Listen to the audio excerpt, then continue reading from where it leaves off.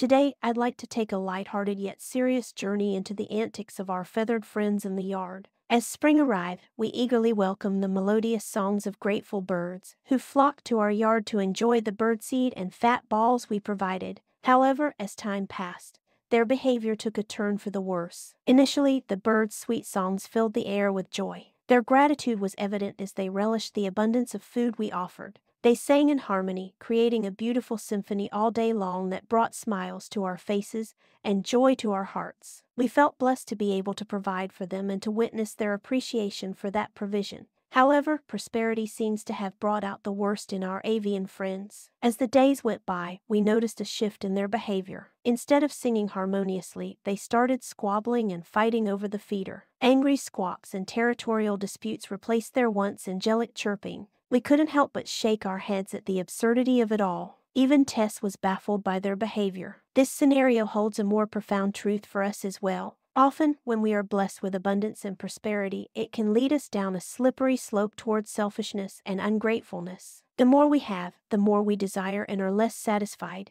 It's a reminder that contentment is not found in accumulating material possessions, but in appreciating our blessings. In his letter to the Philippians, the Apostle Paul imparted valuable wisdom regarding contentment. In Philippians 4 11 12, he writes, Not that I speak in respect of want for I have learned, in whatsoever state I am, therewith to be content. I know both how to be abased, and I know how to abound. Everywhere and in all things I am instructed both to be full and to be hungry, both to abound and to suffer need. Paul's words echo through the ages, reminding us that true contentment transcends circumstances. Whether we have little or much, our attitude toward what we possess shapes our outlook on life. Paul's secret lay not in his possessions, but in his perspective, rooted in his faith in God. Returning to our feathered friends, we witnessed the irony of their pursuit of more. In their frenzy for food, they lost the joy and harmony that characterized their initial gratitude. As we chuckle and roll our eyes at their antics, let's also examine our own lives. Are we becoming so consumed with obtaining more that we lose sight of the simple joys